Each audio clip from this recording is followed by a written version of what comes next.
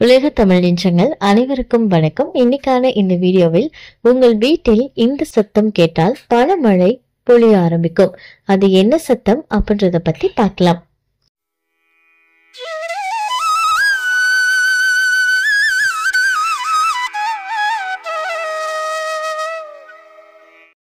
நம்ம வீட்ல நடக்கக்கூடிய சில விஷயங்கள் நமக்கு ஏதாவது ஒரு சகுனத்தை வந்து வெளிப்படுத்துறதாக இருக்கும். அது வந்து ஒரு நல்ல விஷயம் நடக்கு நடக்க போகுது. இல்லை ஏதோ ஒரு தீய ச- கெட்ட விஷயம் ஒரு நடக்க போகுது. அதனால அதனால வரக்கூடிய தீய சகுனம் அப்படின்னு நம்ம முன்னோர்கள் சில விஷயங்களை வந்து வகுத்து வச்சிருக்காங்க. அதே மாதிரி நமக்கு தொடர்ந்து வந்து கெட்டது மட்டுமே நடந்துகிட்டே இருக்கு அப்படின்னா நமக்கு வந்து இந்த திருஷ்டி இருக்கு. அப்படின்றதையும் வந்து சொல்லுவாங்க. ஸோ அதை எப்படி வந்து நம்ம அதுலேருந்து விடுவித்து வர்றது அப்படின்றத பற்றியும் முன்னோர்கள் வந்து நிறைய விஷயங்கள் சொல்லியிருக்காங்க. இப்போ உதாரணத்துக்கு உங்கள் வீட்டில் வந்து அடிக்கடி யாருக்காவது உடம்பு நலம் பாதிக்கப்படுது அப்படின்னா அது கெட்ட சகுனமாக இருக்கும். பண நெருக்கடி அளவுக்கு அதிகமாக மன அழுத்தம் தீராத கடன் ஏதாவது ஒரு பிரச்சனை இதெல்லாம் இருக்குது அப்படின்னா அதிகப்படியான கண் திருஷ்டி வந்து வீடுகளில் இருக்குது அப்படின்னு அர்த்தம். அதே மாதிரி பார்த்தீங்க அப்படின்னா ஒரு சில விஷயங்கள் நம்ம வீட்டில் நடக்குது அப்படின்னா அது வந்து ஒரு குறிப்பிடத்தக்க விஷயத்தை நமக்கு உணர்த்துறதாக இருக்கும். இப்போ உதாரணத்துக்கு வீட்டில் வந்து பூஞ்சைகள் இந்த பச்சை கலர்ல எல்லாம் இருக்கும் பார்த்தீங்களா அந்த மாதிரி உங்க வீட்டுக்குள்ள இந்த மாதிரி ஏதாவது இடங்கள்ல வருது அப்படின்னாலே உங்களுக்கு கஷ்டம் வரப்போகுது அப்படின்னு அர்த்தம். இந்த பூஞ்சைகள் வந்து எதை குறிக்கிறது அப்படின்னா எதிர்மறை சக்தி வந்து வீட்டுக்குள்ள அதிகமாக இருக்கு அப்படின்றது தான் நமக்கு வந்து உணர்த்துது. ஸோ அதை நீங்க பார்த்தீங்க அப்படின்னா உடனடியாக வீட்டை வந்து சுத்தம் பண்ணுங்க. அதே மாதிரி வீட்டை சுற்றிலும் அவங்களுக்கு வந்து சில இந்த நாய்கள்லாம் வீட்டை சுத்தி இருக்கு அப்படின்னா சில நேரத்துல அது வந்து இந்த திருடர்கள் புதிதாக யாராவது வராங்க அப்படின்னா அது வந்து குறைக்கும் எல்லாருக்கும் தெரியும். ஆனா சில நேரங்கள்ல இந்த நாய்கள் வந்து அழுதுகிட்டே இருக்கும். அந்த மாதிரி அந்த நாய்கள் உங்க வீட்டை சுத்தி வந்து அழுகுது. இல்ல நீங்க வளர்க்கக்கூடிய நாய் அழுகுது அப்படின்னா குடும்பத்துல ஏதோ கெட்டது நடக்க போகுது அப்படின்னு அர்த்தம்.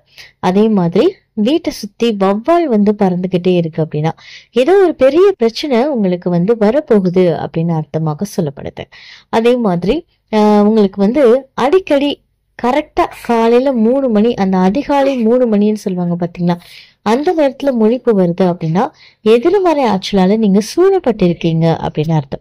உங்க வீட்டுல நீங்க மணி பிளான்ட் செடி துளசி செடிகள் இந்த மாதிரி புல- சில தெய்வீக தன்மை கொண்ட செடிகள் வந்து வளர்க்குறீங்க அப்படின்னா அந்த செடிகள் வந்து வாடிடுது. ஆஹ் அப்படின்னாலே வீட்டுல வந்து வறுமை சூழ போகிறது அப்படின்னு அர்த்தம்.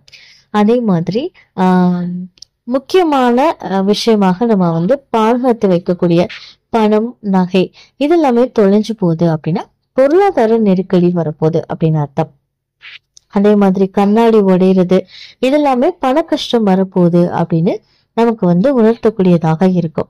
அதே மாதிரி ஆஹ் இந்த மாதிரி அறிகுறிகள்லாம் நமக்கு தெரியுது அப்படின்னா கண்டிப்பா நீங்க வீட்டுல ஏதாவது பூஜைகள் வந்து செய்துக்கிட்டே இருக்கணும் அப்படின்னு வேதங்கள்ல வந்து சொல்லப்பட்டிருக்கு. நம்ம வீடுகள்ல தினமுமே விளக்கேத்தி சாமி கும்பிட்டு பூஜைகள் செய்யறதுனால லக்ஷ்மி தேவியுடைய வாசம் அதிகரிக்கும். நீங்க வீட்டையும் பூஜையையும் சுத்தமா வச்சிருந்தீங்க அப்படின்னாலே அந்த இடத்துல லக்ஷ்மி குடியிருப்பாங்க அப்படின்னு சொல்லி சொல்லப்படுது.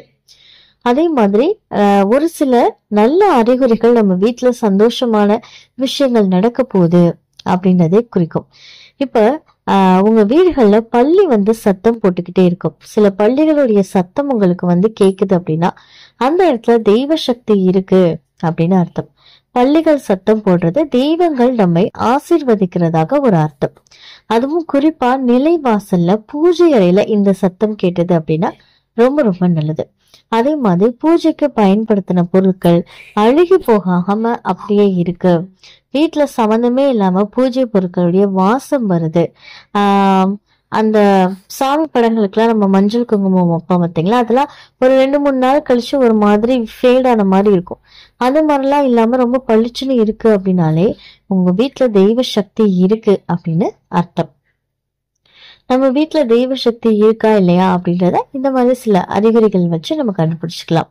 அதுக்கு நீங்க வந்து வெள்ளிக்கிழமை அன்னைக்கு வீட்டுக்கு பக்கத்துல எந்த அம்மன் கோவில் இருந்தாலும் சரிங்க.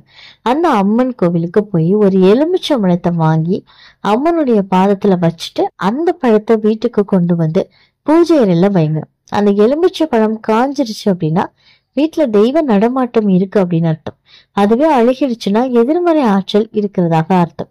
இந்த தகவல் உங்களுக்கு பயனுள்ளதாக இருக்கு அப்படின்னா மறக்காம உங்க நண்பர்கள் கூட பகிர்ந்துக்கோங்க. மேலும் இது போன்ற ஆன்மீக தகவல்களுக்கு என்னோட சேனலை நீங்க சப்ஸ்கிரைப் பண்ணிட்டு பக்கத்துல இருக்கக்கூடிய பெல் ஐக்கானையும் பிரஸ் பண்ணிக்கோங்க. நன்றி.